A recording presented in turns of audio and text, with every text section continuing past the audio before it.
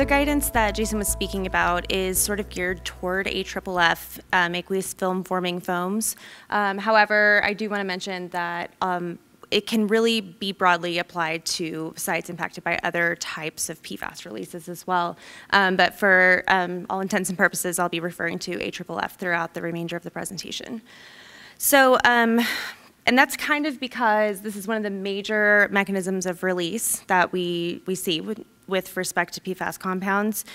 Um, it's kind of in part due to the fact that um, PFAS, I'm sorry, AFFF, when its use is necessitated, um, it can be discharged at a rate of up to like thousands of liters for each use. And so um, we find that it's a pretty significant release of PFAS oftentimes, particularly because the foam can, can contain up to 10% um, PFAS by weight itself.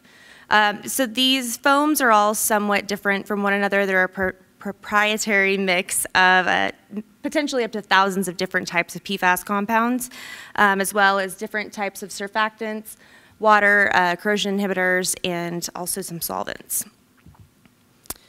So a lot of different industries globally use AFFF, um, a wide variety that you can see up here, some examples. Uh, but in the US particularly, about 75% of AFFF use is um, sort of used by the, the military. And so um, they are overwhelmingly sort of the largest um, releasers of AFFF in the United States. Uh, interestingly, they're also one of the um, primary stewards of threatened and endangered species in the United States. Um, and so it's sort of that confluence of factors um, that led SERDP to request this guidance be developed. Um, so as Jason mentioned, I'm not going to go into depth with different types of, um, you know, basic PFAS chemistry, but this slide's here to show us how variable these structures can be. Um, and as we all know, structure determines sort of function and it determines the behavior in the environment. And so um, this is just here to show us that these uh, compounds can range from very short chain to large polymers. And so um, the behavior is going to be extremely variable in the environment. And um, it's really very important to consider these compounds sort of individually for that purpose. So um, we have all of these variable types of PFAS uh, that we could talk about. There's thousands of different PFAS compounds. Um, but for the guidance um, and I guess generally in ecotox, we sort of focus on the PFAAs, the perfluoroalkyl acids, and that includes um, PFCAs like PFOA, uh, as well as PFASAs uh, like PFOS. And so um, this is because those compounds are so stable and very persistent. Um, they're also abundantly used in AFFF, and so we find them very frequently at sites where AFFF has been discharged. Um, we also find that there are different PFAS precursors that degrade into PFAAs at these sites that are often also present in the AFFF. Um, there's four in particular that we have focused on um, in this guidance because of their abundance, their frequency of detection, and because they can degrade into these uh, PFAAs of concern. We also focused on this group of PFAS um, because there's, they're definitely the most well studied. And so, in terms of doing ecological risk, that translates to tools for us um, to be able to actually assess risk. So, um, that's another reason that we sort of narrowed down our guidance to focus on um, these compounds or this group of compounds. So um, I keep saying this group of compounds that we narrowed it down to, and so um, how did we pick those? So basically we we're looking at different selection criteria. So are there methods to detect them that are reliable and accepted? Um, are they of interest to regulatory agencies? Um, for example, uh, compounds that are on the UCMR3 list. Um, is there toxicological information? Is there guidance from federal or state agencies? Um, and also, is there just a general availability of data? Is there information about their physical characteristics, things like that? Um, so when we felt that we had sort of enough of these criteria met to include the compounds, um, they went onto our list. And so in the end of all of this, we ended up with 18 different PFAS that were included in the guidance and the model tool. And this includes 11 different P PFCAs and also an additional four PFSAs, um, including, of course, PFOS. And then it includes three precursors that degrade um, into these compounds as well. So um, there's a list of 18 in total, and um, like I said before, those are included in both the guidance and in the model as well. So as Jason previously mentioned, um, the conceptual site model is the first major component of a risk assessment. Um, and so all PFAS impacted sites and contaminated sites in general are somewhat unique, um, as we all know. But uh, we wanted to develop sort of a generic conceptual site model or CSM that could apply to AFFF sites. Um, and so I'll briefly cover this in the next few slides. Um, I did show, when I showed that wide range of different structures, that um, I mentioned that they will have very different behaviors in the environment as well. And so um, that sort of determines their partitioning. Um, some of them have a higher affinity for the aqueous compartments of environments, and some are more drawn to sediment or um, soil. So we expect that when we have a, a site that's been um, contaminated with AFFF, we're going to find PFAS in all of these different abiotic media. Um, also, if AFFF has been discharged at your site and there was a need to use it, it's probably not a pristine site um, to begin with. So um, keeping that in mind, um, we also think about the fact that if these are not pristine sites, we're discharging AFFF, they're probably somewhat industrial in nature. Um, there's probably not a lot of actual valuable habitat um, at the immediate point of discharge. And so keeping in mind that um, a lot of these compounds are very water soluble um, and can spread throughout continuous aquifers, different compartments of water. You can have surface runoff, um, you can have nearby um, uh, surface waters uh, impacted as well. So uh, we really find that it's the offsite systems that are the most affected. They have the highest sort of risk potential for ecological receptors. Um, and so that is really what the guidance is sort of focused on so once we've sort of reasoned through this conceptual, conceptual site model and thought that our off-site habitats that are impacted by indirectly by runoff or sort of influence from other nearby um, sites where there was an immediate discharge, we started thinking about what types of receptors we should be really looking at for the rest of the guidance. Um, and so we selected receptors of interest for both terrestrial systems, which the terrestrial model um, is sort of in development and forthcoming. Um, today we're focusing on the aquatic model. Uh, and so um, we, we have a, I guess I'll quickly go over uh, the terrestrial receptors um, and then I'll move on to the aquatic receptors and it'll be discussed in greater detail as well. So um, when we think about terrestrial receptors at AFFF impacted sites, um, and we think about direct versus indirect exposure, it's more likely that plants um, and things that are in direct contact with soil like invertebrates are going to have that direct exposure. Whereas for wildlife that sort of rely on those, uh, um, those organisms as food items, they're going to have more exposure through dietary pathways. Although there will be some potential consumption of contaminated surface water or incidental ingestion of soil, things like that. Uh, for the most part, uh, these small terrestrial, avian, and wildlife, I'm sorry, and mammalian wildlife are typically exposed um, mostly through their, their diet. And that's true also for larger um, carnivorous birds and mammals as well. Um, but we find that because of a number of different sort of life history factors, as well as different behavioral factors, um, which we'll get into more later, the uh, smaller mammalian wildlife and the avian species tend to drive risk at these sites. In aquatic environments, um, thinking about directly exposed organisms versus those that are exposed through the food web or indirectly, um, we're going to generally see that if there's PFAS in the water, there's also going to be PFAS uptake directly into fish um, and into also the sediment associated. PFAS can be um, directly taken up by uh, sediment associated uh, benthic organisms as well as anything that's feeding on them. Um, and so we can have also pelagic um, invertebrates can uptake directly from the water as well.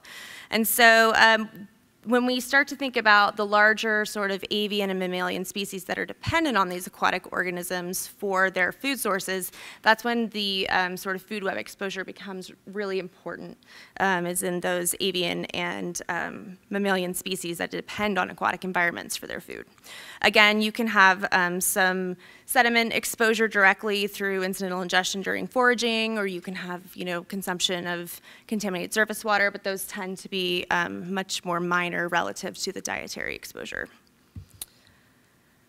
So for the conceptual site model that we sort of have developed for the guidance document, um, the major takeaways are that offsite habitats really are the habitats that have the highest risk profile when you have an AFFF discharge um, because uh, PFAS can be so mobile in the environment, particularly those that are water soluble, um, you know, and also considering the characteristics of the discharge site itself, that it's probably not pristine habitat. Um, we see that the the nearby habitat that's valued by ecological receptors is really going to be of greater concern in your risk assessment. Okay, so next we'll be moving on to the um, exposure assessment component of the ERA.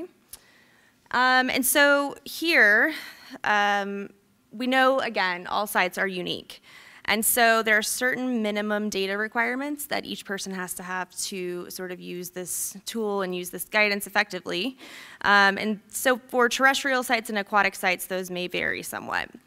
Um, you need to, at a minimum, have, for your terrestrial sites, you need to have measured concentrations of PFAS in your soil. Um, and you also need to have total organic carbon content of your soil um, to sort of put into the model. Um, I guess you you don't have to, but it's very recommended to have that um, total organic carbon measurement. For aquatic sites, um, again, we strongly recommend that you have not just water concentrations that are measured, but you also have sediment concentrations that are measured. Um, there are some additional um, different data types that you may wish to collect that could help improve or inform your model, um, like soil and groundwater data may be useful.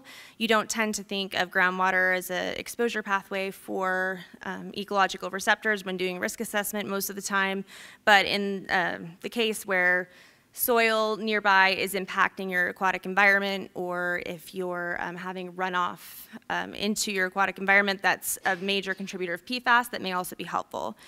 Um, the other thing is different sediment parameters like total organic carbon of your sediment or um, also pore water. Um, but those, again, are sort of methods that are um, sort of newer and can be very interesting and helpful, um, but it's not as sort of well established to use them. So in addition to data type recommendations, there are also um, different recommendations that the guidance um, sort of outlines for the analytes themselves to use, as well as the analytical methods that are sort of best and most accepted best practices to use. So um, regarding the different analytical methods that um, the guidance recommends, it's EPA 537.1, um, and it covers these 14 PFAS here that are PFAS here that are in the red box.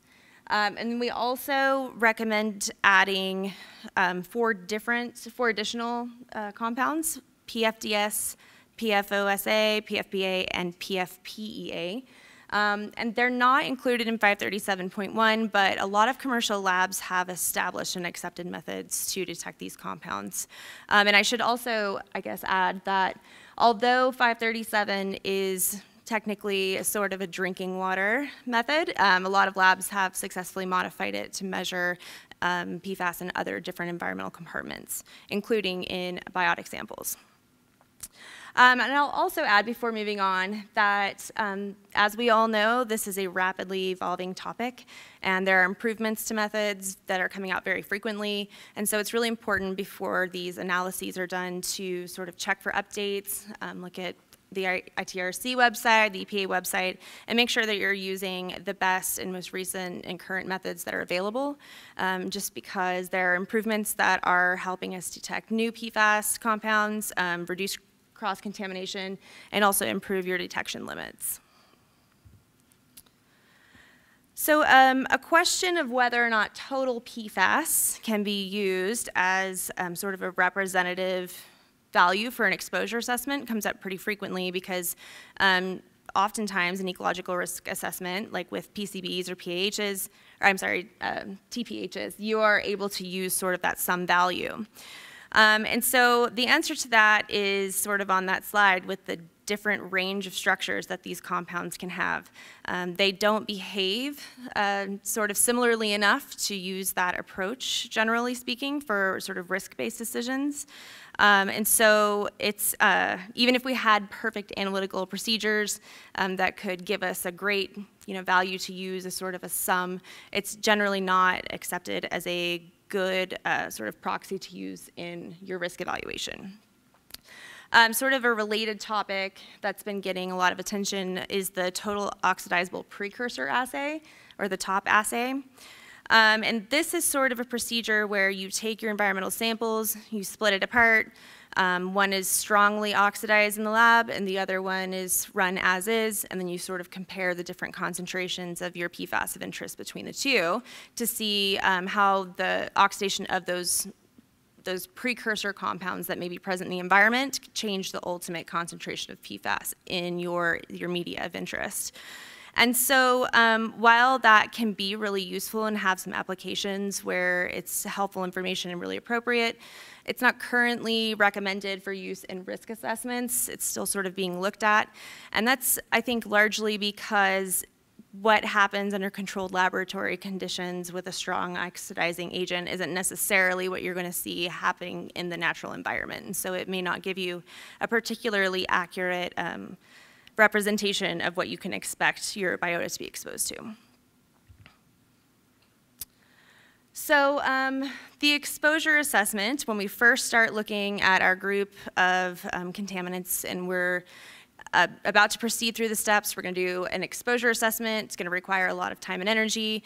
Um, most of the time, we ask ourselves, do I really need to do this whole eco risk assessment or, or not? And so for with a lot of other compounds, our first step, or a lot of other contaminant classes, I should say, a first step is to compare our site-specific data to screening levels that have been established. Um, unfortunately, that's not the case with PFAS because we don't have any nationally or state promulgated screening levels that can be used for ecological risk assessment. Um, and for that reason, we sort of have to use our abiotic media concentrations that have been collected to try and make these decisions on our own. And so the, um, the guidance sort of outlines different conditions that when they're met, um, should probably proceed to a full ecological risk assessment. And so those, those conditions that are sort of outlined is, um, is there a presence of PFAS that is distributed throughout the environment and is being detected in a high enough frequency um, that you're pretty sure that the site is impacted. Um, an another condition that should be met is, um, is this habitat of sufficient size and quality that it can support either a population of common species or is it supporting T&E species, which would require more conservatism. Um, and so the third is, is there a exposure pathway that's connecting those receptors to the source of the PFAS. And so if you have a complete exposure pathway and you can connect A to B, um, it's probably time to start proceeding through additional evaluation. So um, for aquatic life, um, with our fish, our pelagic and our benthic invertebrates, and um, as well as soil life, um, those things that have direct exposures from their environment and direct uptake. Uh, really what we're doing is we're comparing the concentrations in whatever media they're exposed to, either the, the aqueous environment, the sediments, the soil, um, directly to values that we know are causing um, toxicological effects in sort of the studies that have acceptable study criteria and are of high value. Um, and so Jason or Jen will go, be going through those later, um, actually, so stay tuned for that. Um, and for vertebrate wildlife, um, those higher trophic level organisms, it's going to rely more heavily on those indirect exposure pathways and modeling concentrations in their food and dietary exposures. And so um, this will all be covered later as we, in greater detail as we move into the model tool section. Um, but I do want to point out it's that standard dietary intake equation that's being used um, that considers sort of what kind of exposure these uh, organisms are going to be experienced based on their diet. So these are the exposure parameters, just some examples of common exposure parameters that you're going to use in your ecological risk assessments. I'm sure most of us, if not all, have um, searched for these before. Um, and we've probably all searched in similar places. So these are some of the common sources that are, you know, go-to places for these parameters um, to use in our modeling. Um, there's, of course, the the more readily available and widely distributed like wildlife factors handbook. And then there's also a number of peer-reviewed papers that have been sort of foundational in eco risk, risk assessment that are listed up here as well. So um, the guidance is that uh, has been developed um, is sort of intended to focus on ecological risk assessment for vertebrate wildlife species so those ones that are exposed through the food web. Um, and so the guidance is translatable to common species, um, but it does have a focus on T&E species. Fortunately, the underlying concepts are broadly enough applied that it can be easily adapted to both, and the guidance does a pretty good job of sort of outlining where those differences are. Um, and so just quickly, um, some of the main differences between doing an ERA for a T&E species versus a common species is um, the values you're going to use. So are you doing your lowest observable effect concentration or are you using your no observable effect concentration? Um, there's going to be an added degree of conservatism when you are uh, looking at risk for a protected organism versus a common species. The most important thing, though, besides that difference, is that you're selecting the most appropriate receptor for your site specifically. So um, we've included in the model, which Jen will cover later, um, some more commonly used receptors to get you started. Um, and there are uh, sort of some T&E species included in that as well and that is um, true for aquatic mammals and birds. So these are just examples of some of the species that were included in the model tool um, that includes sort of your more common receptors versus your, your protected individuals. Um, and then for the terrestrial model that is currently in development, um, here are some examples of the species that um, all of those exposure parameters are already available in the model. Um, they self-populate, and it's um, very helpful they can um, be used as surrogate organisms to sort of represent receptors that are you know, more important and relevant to your site. And so we hope that that will be very useful for people. And um, as a final thought, the guidance really does focus on small, low, tro low trophic level wildlife, so those mammalian receptors and um, the avian species, and there are a number of reasons for that. Um, these organisms have high site fidelity, so they're feeding in a smaller area. They're probably going to be more highly exposed to contaminated dietary items.